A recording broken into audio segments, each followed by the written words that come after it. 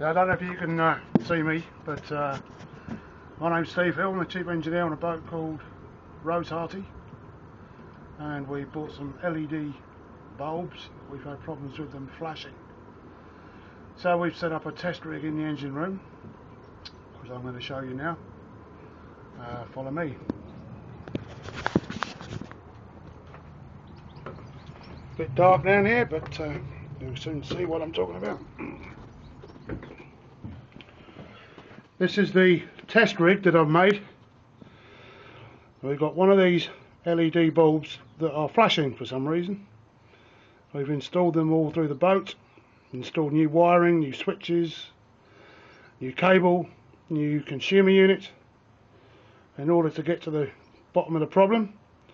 As you can see I've rigged up a wooden little test bench there which is connected via a fuse to a set of 24 volt batteries. Now these batteries are brand new as you can see from the label and as you can see we have some flashing LED bulbs which is not really acceptable for what we need to do. So there we go, there's the test rig. As you can see wires connected directly to the batteries nice solid connection there and we have flashing lights.